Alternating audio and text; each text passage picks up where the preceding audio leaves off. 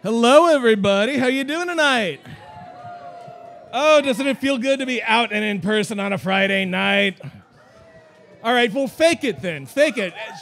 Should give me the energy as though it were true to be out. Yeah!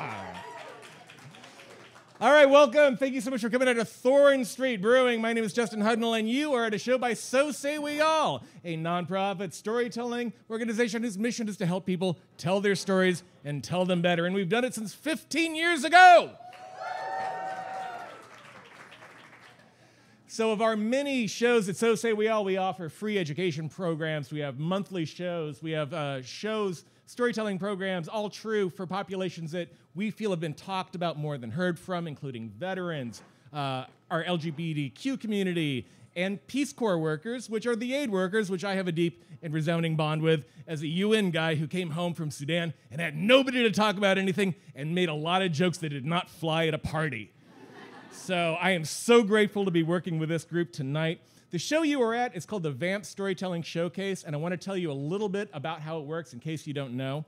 Uh, so the way this often works at our monthly shows, or in this case, a very particular audience that we're, uh, we're, we're cultivating, people send us a first draft of a true story, however loosely related to the theme.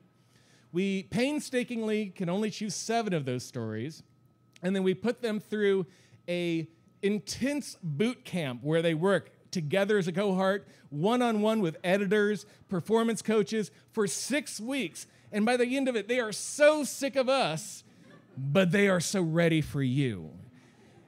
And as I said, we do this show many, many times a year in various things. So please do go on our website, so sayweallonline.com. We put a premium on new blood. If you've never done our show, you will get preferential treatment. We like to keep our gene pool up. That's how the nerds somehow are able to keep their dating life up, also. And we are a great dating show if you're not on a date tonight, next time. So because, and I'm not going to go into the whole secular spiritual religiosity of the storytelling revolution and why we do so, say we all tonight, because we did have to start a few minutes late. Um, we are just as much about bringing people together as a community to tell their true stories and to bond as we are about the intense creative writing and literary powerhouses you are going to meet tonight. So, in that vein, would you please turn to someone you do not know and introduce yourself? We'll take a minute.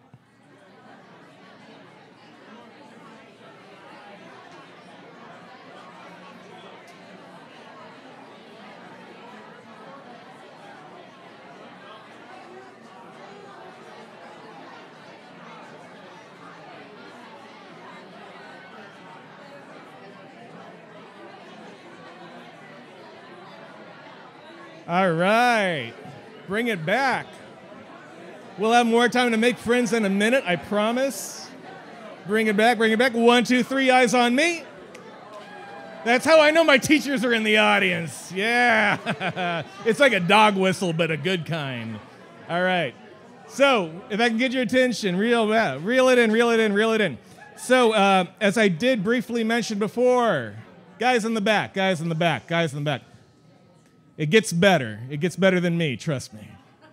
So, as I mentioned before, we are a nonprofit who runs on donations. And if you didn't uh, notice, America's not great on funding the arts and education sector. So, if you did not give any money on the way in, please do give on the way out. If you did give money on the way in and you like what you see, please give more on the way out. Become a recurring member. It is what keeps the lights on. And, uh, and troublesome street youth veterans like Joe off the streets He's my foster kid for this program. So remember, every dollar you give us keeps Joe from committing a heinous crime tonight. So now, the reason most of us are here, we're working with the Peace Corps for the first of many shows. Give it up for the San Diego Peace Corps Association of San Diego.